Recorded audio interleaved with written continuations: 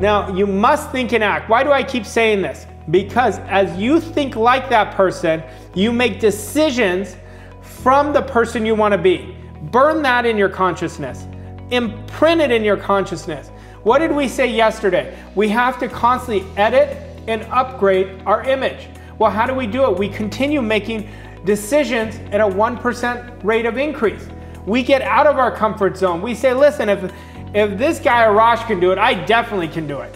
You know, this guy was struggling, and it was so obvious that he was struggling.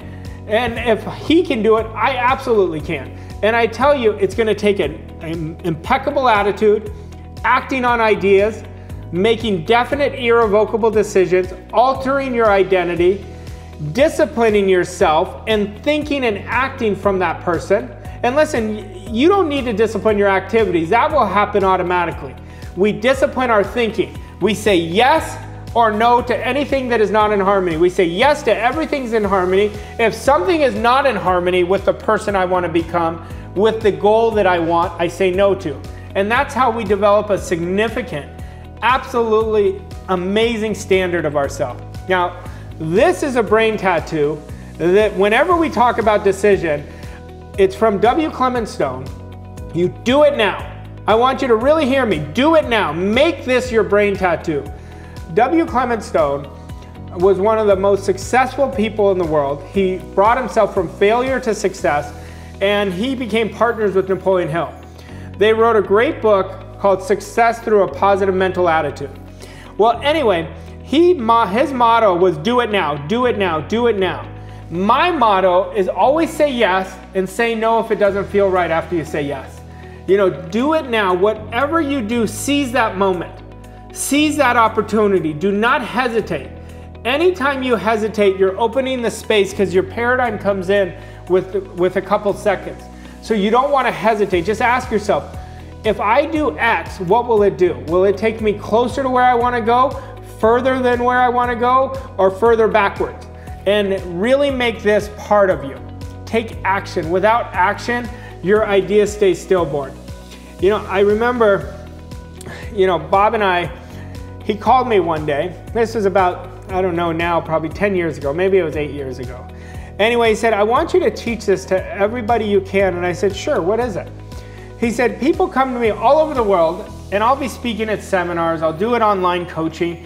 And he said, I'd always, they always say, can you help me create a life of freedom? Can you help me create my ideal business? Can you help me create my dream home? And he always said, I always told him I absolutely can, but there's a prerequisite. He said, you have to act on a decision within 30 seconds.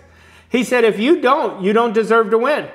He said, anytime you don't act on a decision within 30 seconds, you let your idea stay stillborn and you tell the universe to keep you stuck in reverse. He said, Rush, all these people will look at me so funny. They think I'm trying to sell them. He said, I can't help them until I sell them. And I'm not trying to sell them, I'm telling them how the laws of the universe work. Until you act on ideas, the ideas are going to be stillborn. So if you look at the people who win, they act on ideas right away, right away. When I started winning, I started choosing in when I wasn't even ready. And that has been a part of my new image. And it's been part of my image for several years. But that is what I do. And that is where I'm going. So that is what will take you to act on ideas within a few seconds. Do the end of Bob's last few years when he told me, forget about the 30 seconds. You know when something is right because it resonates with the essence of who you are. One idea changed my life. you know, I, I laugh at this because if I would have known how simple success was, I swear to God, I would have done it a long time ago. I made it so complicated. And complexity is the enemy of success. Simplicity is success's best friend. Success is just doing a few things. We've only talked about a few, few main parts of your character that you have to develop from paradigms to goals to being a goal achiever, to attitude, to discipline, and self image. But one idea changed my life, and this idea on decision making absolutely changed my life. Because I can't imagine, you gotta understand, I was 150,000 in debt, about to get married, and then I had to invest thousands of dollars to get mentored, and I said yes. It made no sense logically. But that idea of acting on that decision, I don't know where I would be today. And then it was the idea that changed my life on serving, on using this to help more thousands and thousands of people.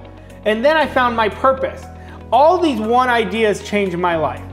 Now, this is, this is so important to understand. And decisions or lack of them are responsible for making or breaking everything you desire in your life. People who have become very proficient in making decisions without being influenced by the opinion of others are the same people whose annual income falls into the top income category. I want you, I'm speaking directly to you.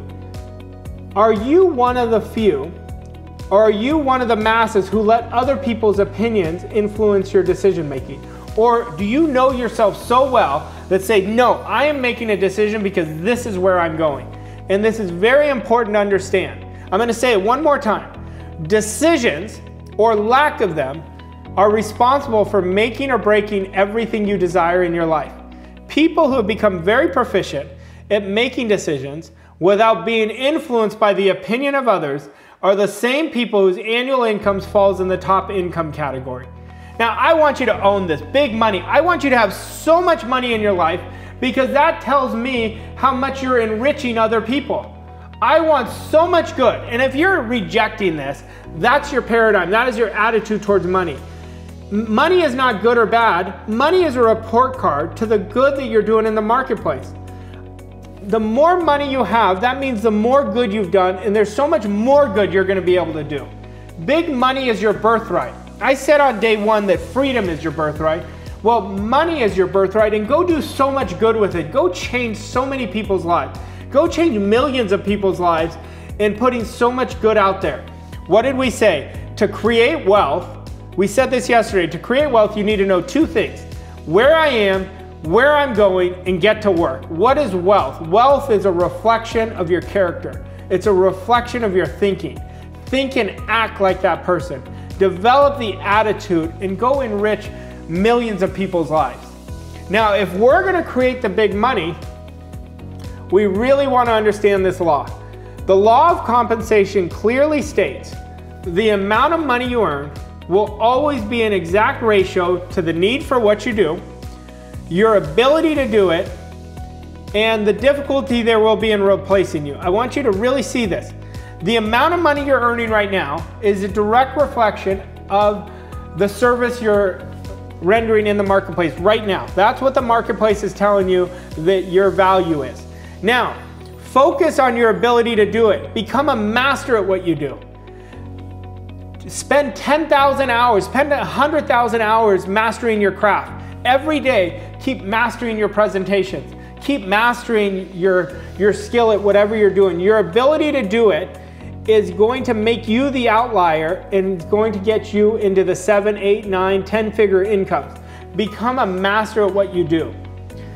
Napoleon Hill said this, and I was saying it with Mikey earlier. He said, analysis of several, several hundred people who had accumulated fortunes well beyond the million dollar mark disclosed the fact that every one of them had the habit of reaching decisions promptly and of changing these decisions slowly if and when they were changed.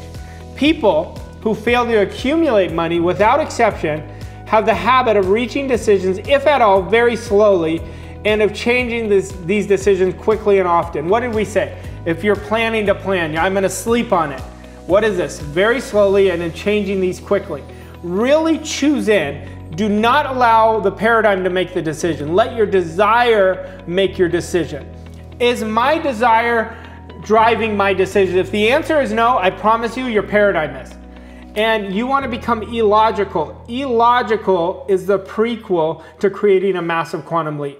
Logic creates doubt, logic creates overthinking. And I know my analytics out there, I'm telling you, just for the moment, Study decision making, let this idea change your life, and put your analytical mind in your pocket just for a minute, just for the next hour, you know, just for the next opportunity to act on decisions. You're gonna see how much it'll, it'll absolutely create massive jumps in your results. Now, when I talk about one idea, I remember when I had been getting coached by Bob, and he said, You need to get in this industry. He said, This industry changed my life. He said, Arash, this idea has used me. I was telling you earlier, I had all these one ideas have used me. Well, me getting in this, studying it so closely where other people can understand, where I can explain it to others, changed my life. And this is what I'm going to do the rest of my life. I'm going to keep passing it forward just like Bob did with me and did with millions of people.